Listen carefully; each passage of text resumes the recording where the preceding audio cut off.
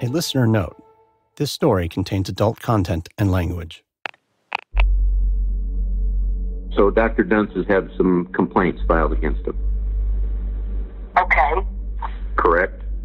Well, I can't really say. On January 31st, 2013, Dr. Robert Henderson called the Texas Medical Board. You can't say. Okay. Okay. Why? Why am I calling you? Do you know? I can't really share information with you about uh, an open investigation or what we may be looking into uh, regarding any position because you know sometimes allegations are proven to be false. That's the medical board's lead investigator, Marie Lopez. Yeah. Well, you guys, you guys have been doing a horrible job to this point in in this case. Henderson reminds Lopez about the patients, at least the ones he knows about, who Duntsch has injured. Well, I would, yeah, I would, just think that protecting the public would be a high, our high number priority. one- It, it is our number one priority. Well, it's not. In it's not in this case, and I mean that's the frustration that I see a lot of people having. Is Well, that, you know, is we that can have not. suspicions and we can even know that something's bad, but when it comes to taking them uh, to a hearing and proving it, where we can actually, uh, have, you know, do some disciplinary action, it takes time and gathering evidence. And you know, we also have to have um, the care reviewed by um, a physician of the same specialty you know, to get a, a very detailed uh, report about what was done wrong in these cases. And um, unfortunately, sometimes it takes longer than we want it to. But this, this, this is a bad, bad guy, and he needs to be put on the fast track if there's such a thing. Lopez says there is such a thing, but it's not so easy. I would like to just say, can we just suspend this license and prove it later? But uh, the attorneys don't go for that. So, but I do, I I do understand what you're saying, and I agree with you. Well, does the board ever? I, I, I mean, I mean, the, maybe the police or, or federal agents or somebody ought to get involved with this and arrest this guy. The doctors in Dallas were becoming convinced that Christopher Duntsch was a bigger problem than even the medical board could handle. But they'd never heard of a surgeon getting arrested for actions performed in the operating room. If the medical board was the only option, well, they weren't moving nearly fast enough.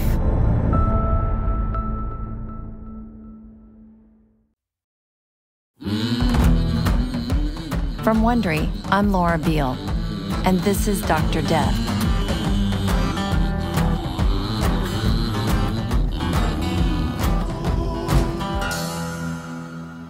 This is episode 5 Free Fall.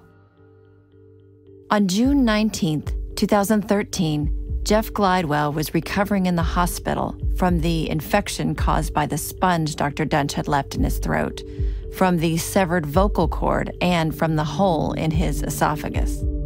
On the same day, an email hit Brett Shipp's inbox.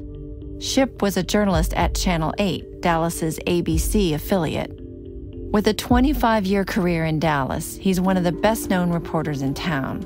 The subject line of the email was Please investigate Dr. Christopher Duntsch. The sender said she had a friend who'd been permanently injured. She didn't want to give her friend's name in the email. She told Shipp that she knew of two patients who died and two who were paralyzed from surgery. And then she writes, when I Google him, there's basically glowing recommendations on all the physician referral sites. This story has not garnered media attention, and I fear he will move to a new state and do this again. Can you help us?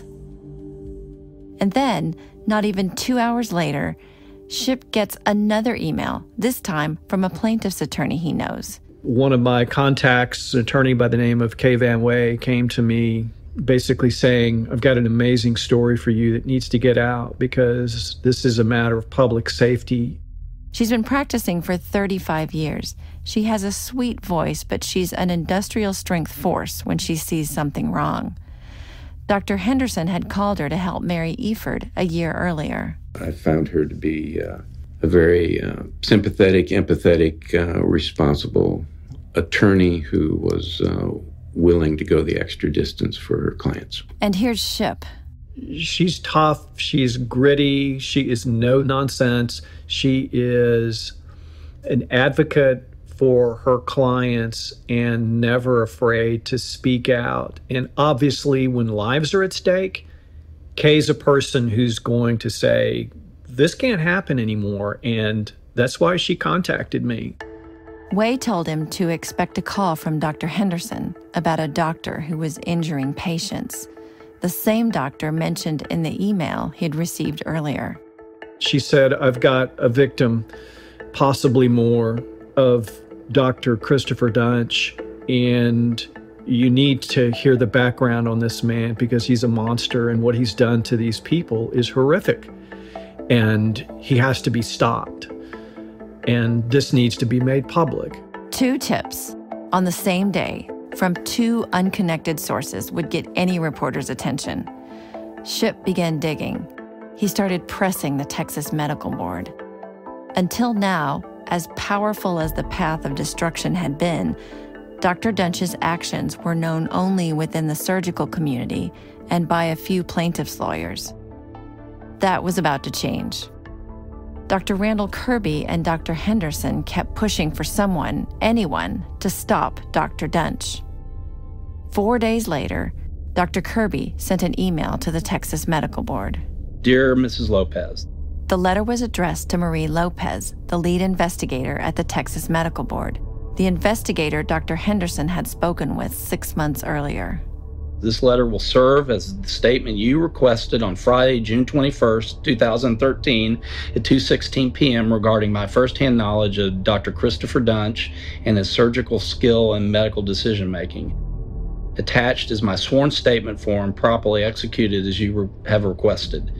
Let me be blunt, Christopher Duntsch, Texas Medical Board license N8183, is an impaired physician, a sociopath, and must be stopped from practicing medicine by the Texas Medical Board immediately. Then, in which will be Dr. Kirby calls Dr. Duntsch the most careless, clueless, and dangerous spine surgeon he's ever seen.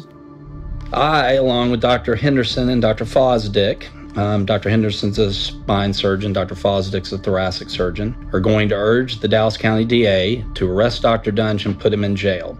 It is the only way we can think to stop this madness. Nothing has slowed him down yet. I'm beginning to think only the police are the ones that are intellectually and physically capable of getting to the bottom of this matter. Your mission is to protect the public. Dr. Duntsch is a clear and present danger to the citizens of Texas. Respectfully, Randall P. Kirby, MD. So, what was the reaction to that letter? It worked. The medical board had been investigating Duntsch before Dr. Kirby's letter and before Brett Shipp started asking questions. Well, I was appointed by the governor in June of 2006. I retired uh, from the board and the presidency in August of 2014. Dr. Irvin Zeitler is a physician from San Angelo, Texas, and he was on the medical board at the time, the chair of the disciplinary panel which means he was in charge when the medical board was investigating Duntsch. The law in Texas is that we have to have a written complaint. It cannot be anonymous. It is confidential, and we didn't we didn't have that until uh, late August of 2012. He says it's not uncommon for there to be complications in neurosurgery and that there are two sides to every story. That's why the investigative process is set up the way it is. Recall that the Texas Medical Board only acts on complaints. And and absent complaints, we we don't we're not a police force. We don't go out looking for uh, offenders. Zeitler says it took the board until June of 2013 to establish a pattern of patient injury in Duntsch's cases. I think the simpler the case, the quicker they act. Like if you run a pill mill or something, they got you on camera. Basically, they can track what your drug uses are. They like simple stuff. They don't like complex stuff, and they don't like taking doctors' licenses away. They like they like reprimanding them. They like signing agreed orders. That's what they're set up down there to do. Dr. Kirby's letter may indeed have been the final straw. With Brett Shipp poking around, they were facing public scrutiny. Maybe they were on the verge of acting anyway. On June 26, 2013, Almost a full year after the board received its first formal complaint, Christopher Duntsch's license was temporarily suspended. He would not be allowed to operate. Dr. Henderson, though, was still worried. He'd seen Dr. Duntsch disappear only to reemerge too many times. And I was terrified of that term suspended. I mean, that indicates that he might get it back at some point in time. And uh, I, I, was already aware of the fact how disarming he was and how uh, friendly and intelligent he appeared whenever he introduced himself to people that he wanted to impress. If by some chance he was able to get his license back, Henderson and Kirby knew that he could get a job somewhere. Even with a record like his, there were plenty of hospitals out there that might still hire him. Why? Because he was a neurosurgeon. Remember, four hospitals in Dallas had welcomed a neurosurgeon who kept losing his job, even with negative rumors swirling around him pretty much from the moment he arrived in town. And if you've got a couple of spine surgeons at your facility working day and night, that's that's a dream for a hospital administrators. I asked the opinion of an actual neurosurgeon, Dr. Martin Lazar. We represent a lot of money for the hospital. We are like a cash cow. Every neurosurgeon represents millions of dollars per year if that surgeon's busy. The healthcare analysis firm Merritt Hawkins says that the average neurosurgeon brings in $2.4 million every year to a hospital. So, why do people keep hiring Dr. Duntsch? Simple hospitals are businesses, neurosurgeons are money. And you think that's the, the reason? I don't think it's because of our charm. I think it's economic value. And so, in the fall of 2013, a few months after the medical board suspended Duntsch's license, Dr. Henderson and Dr. Kirby decided to go to the district attorney's office. But that was your idea. that go. was my idea. Was to use the you use the police to do the, the dirty work, not the Texas Medical Board, because they can do investigations pretty simply. Henderson and Kirby went together to meet with an assistant DA we both classified him as a serial killer and maimer uh, of people seeking help in the healthcare system. My impression would, was that if they could put an investigator on him, they would find out he was doing something illegally that they could arrest him on anyway. And then we queried him at the end of our interview and said, you know, is this just going to be shoved under the table or what's going to happen with this? And he says no this is going to go to the top of my of my stacks and it's something that i will address. So we felt good about that this particular assistant da had a lot of stacks on his desk dr kirby says he left the building feeling optimistic that the da would act but then nothing happened and i called him three or four times i said what are you guys doing Are you put an investigator on him? What's going on? They said, well, you know, he's been suspended. He can't practice medicine. He, he voluntarily released his license, so he can't practice anymore. And so he's not doing any harm anymore, so why are you upset? And I said, because just because he doesn't have a medical license doesn't mean he didn't try to kill somebody. So I just kept calling him every month and a half. Attorney Kay Van Wey went to the DA's office too, hoping to get some interest from someone in their civil division. It was clearly an outcry by the other doctors involved that this was someone who either had a brain tumor, was seriously mentally ill, seriously impaired by substances or alcohol, or so completely inept and not trained as to be just a complete madman and very dangerous. Still, the DA did nothing. Meanwhile, the medical board did permanently strip Christopher Duntsch of his medical license on December 6, 2013. Ten days later, he filed for bankruptcy, listing just over a million dollars in debts. His license was gone he didn't have a job. He spent time on his computer plotting his comeback and assailing online anyone who crossed him. And he did have a Facebook page. That's Jeff Glidewell, the last patient Duntsch operated on. He saw that Duntsch had posted a new picture of himself in an operating room. Someone had written a comment below There's Christopher saving another life. Glidewell replied, Maybe murdering someone else. An hour later, he got a long message from Duntsch. It came through Facebook.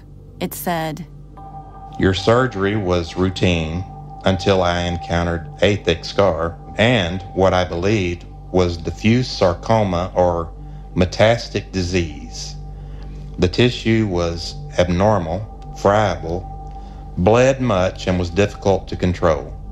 That supposedly abnormal tissue wasn't cancer. It was a part of Jeff Glidewell's neck muscle that Duntsch had mistaken for a tumor. I showed perfect clinical judgment, control in the OR, and every step that followed was to protect you to the best of my ability. What a crock. I'm sorry, but that's just. And I'm guessing you didn't respond. No. No, I actually uh, contacted my attorney and told him because I, I, thought I was going to get in trouble for calling a, a murderer on Facebook when I saw the picture, but they kind of laughed about it and said, "No, just no other contact with the guy. Just leave him alone." So. Reporters were now on the trail of Dr. Duntsch. The board had issued a one page press release when they suspended his license that June, which generated a few stories that only touched the surface of the larger disaster. The first publication to really take a deep dive was the Texas Observer, a venerable bi monthly magazine out of Austin, which published a story in August of 2013. But it didn't seem to make a big splash up in Dallas. And then. A North Texas hospital tonight is accused of allowing a dangerous surgeon to operate on patients, causing paralysis, even death. The allegations are laid out in lawsuits against Baylor Plano Hospital by two patients who say the surgeon should never have been given credentials. And Channel 8's Brett Shipp has more tonight as News 8 investigates.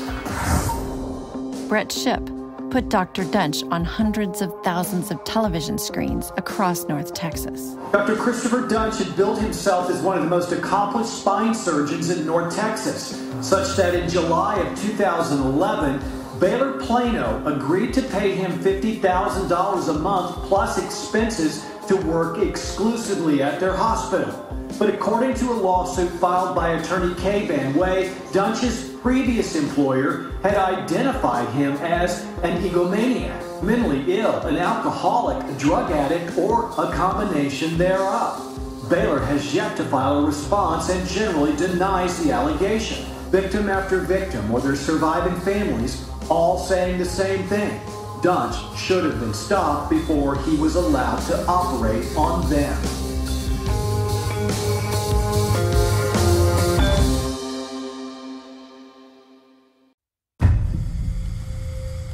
A Plano neurosurgeon has his license suspended after the medical board says his negligence resulted in at least two patient deaths. All these people have something in common. They went to the same surgeon, a surgeon some are calling a sociopath, and they are telling stories of botched operations that left them with agonizing pain.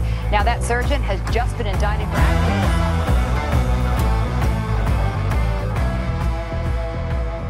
The private outrage was now public. Dr. Duntsch became a hot story for the local media. And victims who had been trying to come to terms with what had happened to them suddenly realized they weren't the only ones. This friend called me and said, I believe that your doctor is on uh, the news uh, that uh, he has been killing patients. Shirley Mock turned on the television and saw Dr. Duntsch. She immediately went to his office. I had no idea what was going on, and uh, I, that's when I started trying to investigate and, and call it, contact, and couldn't couldn't couldn't even find out anything.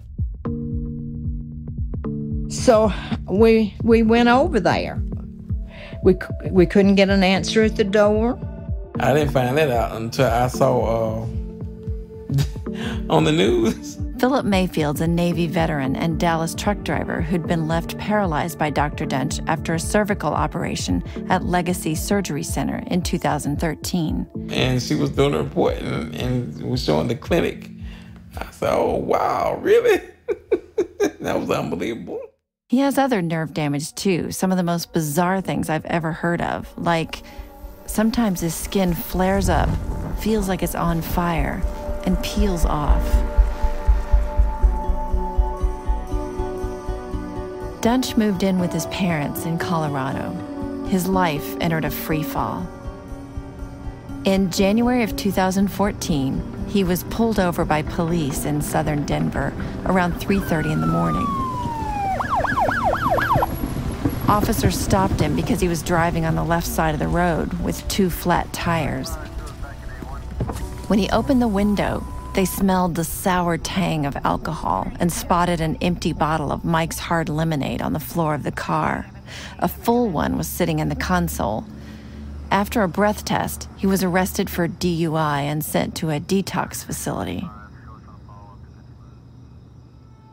Even though he was living in Colorado, he continued to return to Dallas to see his two sons. His older son had been born in December of 2011, back when he was Baylor's rising star and living in Plano. His girlfriend, Wendy Young, had another son in September of 2014. But police reports do not paint a scene of domestic tranquility. When Wendy Young was in the hospital after giving birth to their new baby boy, her mother called the police after Duntsch arrived at the house where she was babysitting Duntsch's older son. According to Wendy's mother, Duntsch started banging on the door. She did not answer, so he jumped the fence and entered through the back door.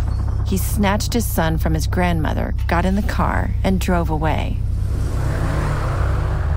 The next month, in October of 2014, police were summoned to Wendy Young's apartment after she said he slapped her in the face during an argument. She fled with her toddler and newborn and called police from her car. The following spring, in March of 2015, police were called to a bank in northeast Dallas after passersby noticed a man with bloody hands and face beating on the doors. It was Duntsch, babbling about his family being in danger. He was wearing the shirt of his black scrubs. It was covered in blood.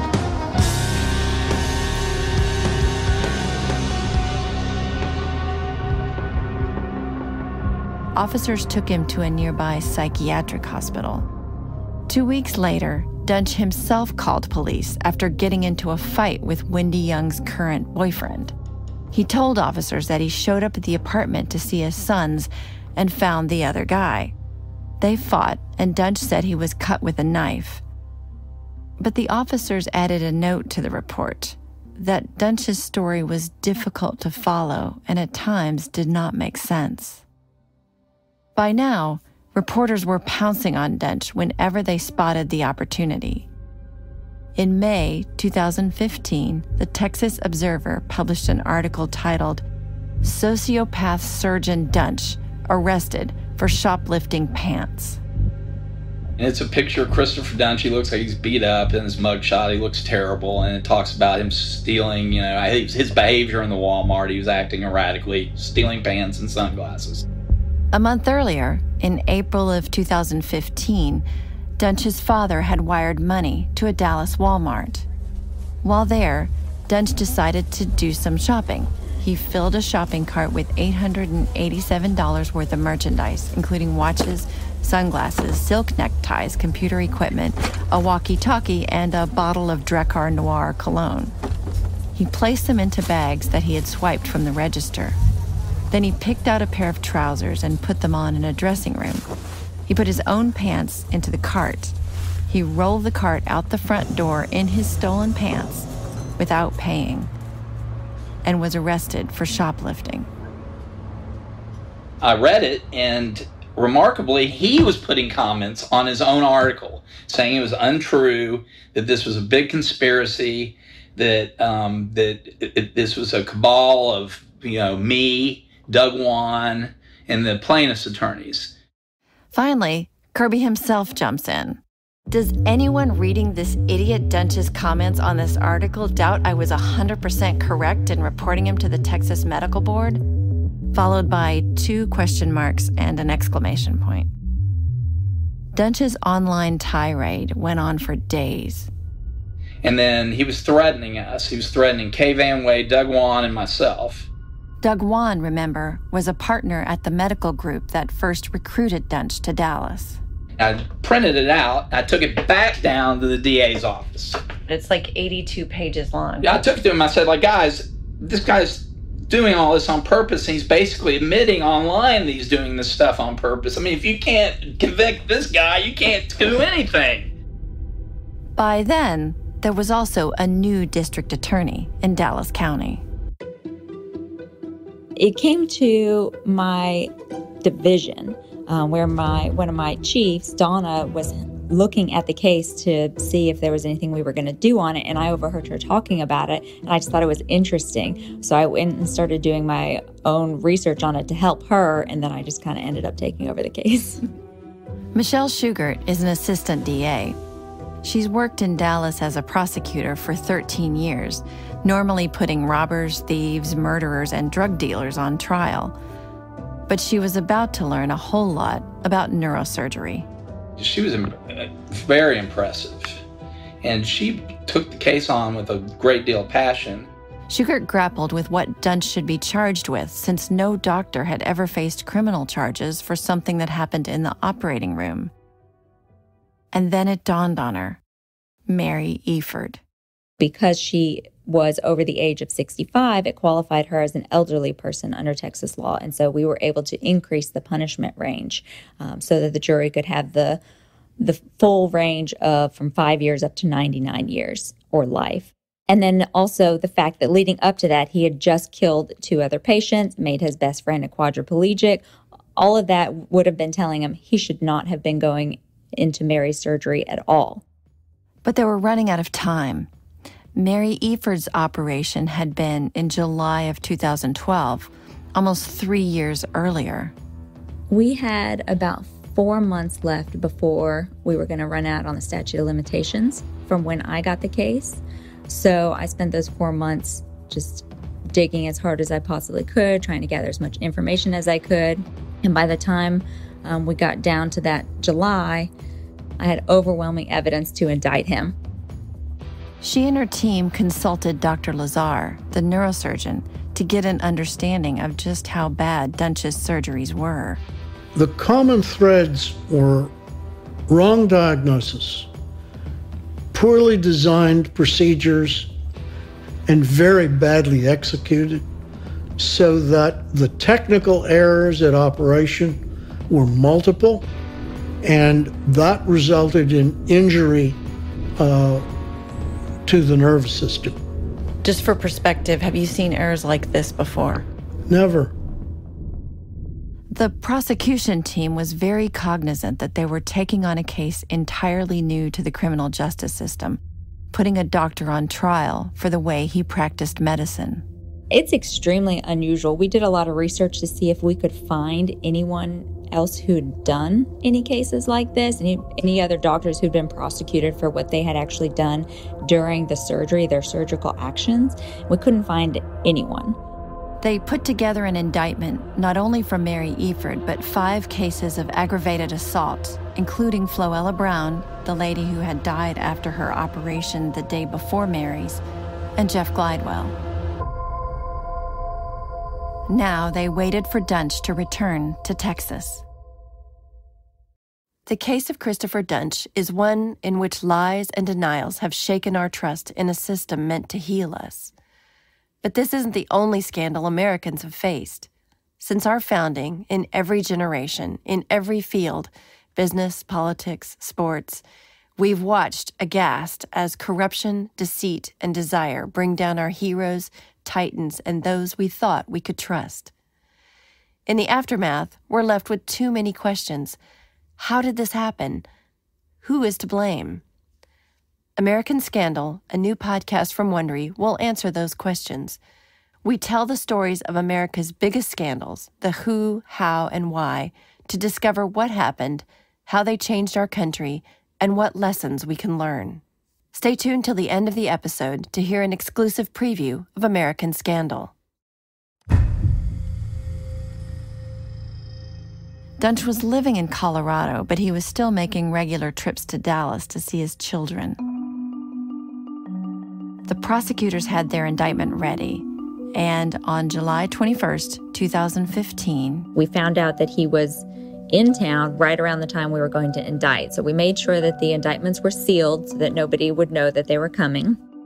I presented to the grand jury that morning. It took a couple of hours, and immediately they they returned an indictment and issued a warrant for him, and we had the Dallas Police Department there ready to go to grab him. So they went and banged on the door. And did he go willingly? I don't think he understood the gravity of what was coming. I don't think he understood the possibilities of going to jail and that he was looking at doing some serious time because he had been getting away with this for so long years and years where he had not had any consequences. He didn't pay out any money.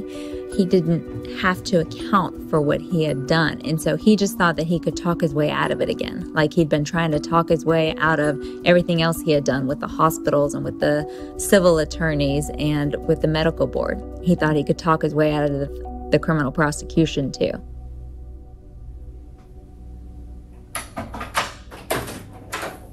Mr. Duntsch, how's it going? Good, how are you? Good, how are you doing? Dallas police booked him into the county jail. He was wearing a rumpled green t shirt. He had dark circles under his eyes. His face was puffy. I'm Detective Anderson with the Dallas Police Department. Nice to meet you. I know you're probably wondering what's going on. I'm going to kind of fill you in on Yeah. what's going on, okay? Yes, sir. I, I, I have known this was going on. I actually planned to bring all my documents to the DA directly. Oh, did you? And let him have everything so that they would have full disclosure because I, I know exactly what's happened and, and none, none of it is criminal. Right now, are you employed anywhere right now? No, I, I'm in between jobs. I'm in between jobs, Duntsch says. Um, basically, the, the reason you're here right now today, okay, is um, you have been charged with um, five counts of aggravated assault, okay, and one count of injury to elderly, okay. Now, specifically, the the aggravated assaults were victims were names. We have uh, Jeffrey Glidewell. So these are the medical malpractice cases. Uh, And then Duntsch does something extraordinary. He launches into an explanation as if the cases had been perfectly routine. Jeffrey Glidewell, it was a gentleman who presented with severe neck pain. He had uh, was was worst at one level. He had difficult insurance, so I had to bring him to the University General Hospital. Uh, during his case, there was difficulty with a tissue that was growing on along top of the bone. One by one, the detective asks him about each case. Miss Efurd, uh, here, here's exactly what happened. This, I'm not I'm not over trivializing this, but And one by one, he explains them away. Ms. Efurd, and I was only three millimeters off to the midline, and it broke out to the middle, and it and it caught her one of her nerves. So her L4-5 nerve on the left, which happens by the way in about six percent of all surgeries. Sixty percent. Six percent. Six. But it was my first ever. But And Duntsch says he was distracted by another patient who was dying, Floella Brown. I feel I, I- I feel like it was because I got overwhelmed by the executive of the, the hospital coming into my operating room, freaking out about the patient who was dying, not following my orders about this patient, me trying to get this patient closed. Um, if I had slowed down and followed my neurosurgical training, I would have been able to finish Ms. Efurd, and that, that, that complication would not happen. Was there an argument or something? A little bit of an argument? There was an argument about whether or not we were going to take, take care of a dying patient right there, then and there, or whether or not they're going to transfer them. And I told, because I told them very clearly, if you transfer this patient to another hospital, she will die. She'll have brain death and then die. And they did transfer her, and she did have brain death and die. Whereas if you let me take the illness patient right now as a neurosurgeon, we will save her life 100%. And they didn't have the right tools. Detective Anderson asks him about his drug and alcohol use. So the issue of drugs and alcohol in the first 22 years of my career, mm-hmm. never came up once. No, no, no testing, no failed tests, no suggestion, no allegation. Do you know where those allegations came from? I mean, Yeah, yeah, it- it- yes, I, yes, I do. He explains that surgeons and attorneys in Dallas cooked up the allegations of drug and alcohol use. So you think it was a deal where you think that those they cons- cons- conspired to Yes. to make that up about you? Yes. He tries to call his father. The answer is his answer.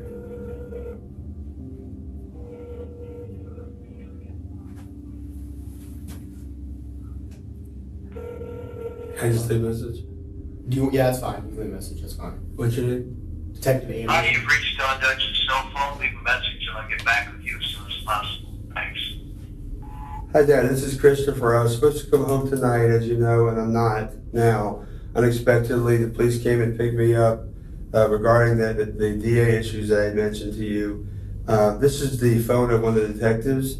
If you would please call him back, he'll tell you what's going on. I had no idea what's going on with Bond and what's going to happen next. So I'll call you as soon as I can. Love you. Thanks. Dr. Henderson later saw the tape of Duntsch being questioned by police. The first time I really observed him speaking was uh, after he got arrested, and he got interviewed by the police department, and the uh, DA had sent me a videotape of that. I mean, he really appeared to be a pathologic liar. Uh, he was uh, totally not in touch with the reality of the situation. Assistant District Attorney Michelle Shughart was just getting started. We spent the next year and a half after he'd been arrested continuing to find more witnesses, and just more of these horrible injuries kept coming up everywhere we looked. Total, there were 38 patients. And we spoke to every one of the patients. We felt we needed to investigate everyone to see how prevalent was this in his career. What she found shocked her. 33 of those patients were hurt. Either they came out of the surgery in more pain, or they couldn't talk, or they couldn't move. Some sort of strange anomaly happened in all of those cases. And many of the patients, at least 20 of them, were severely injured where they have permanent injuries that will never go away. As she built the case, Shughart was still grappling with how something like this could happen. What are you thinking as you as you're doing this investigation? I was trying to find a way to explain the behavior. I couldn't figure out what would make somebody keep going after they had caused so much damage to the people. And his patients, I mean, they their stories will just break your heart. They have been through so much and their families are going through so much that you cry with them. And so I really we were trying to find out why. Why would he do this? But she was going to make sure that a measure of justice was served. That's next time on the final episode.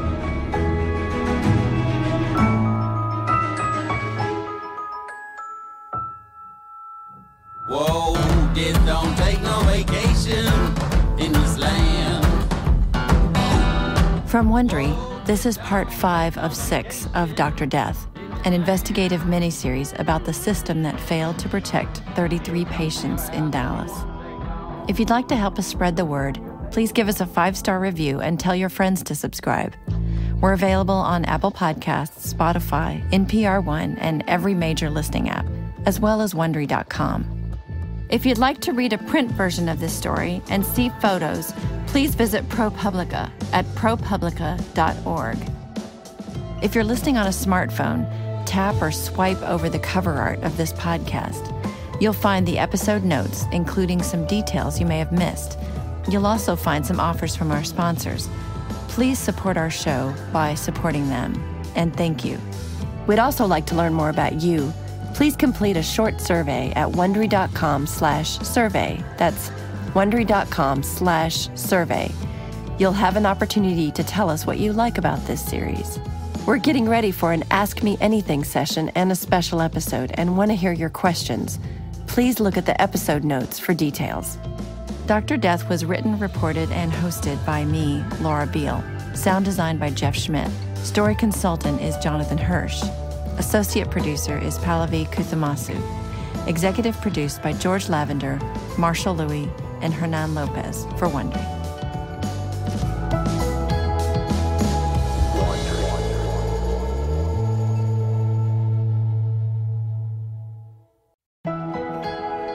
Here's a preview of the Wondery podcast, American Scandal. Good morning, and thank you for joining me. Every scandal begins with a secret, Good evening, my fellow citizens. But I want to say one thing to the American people.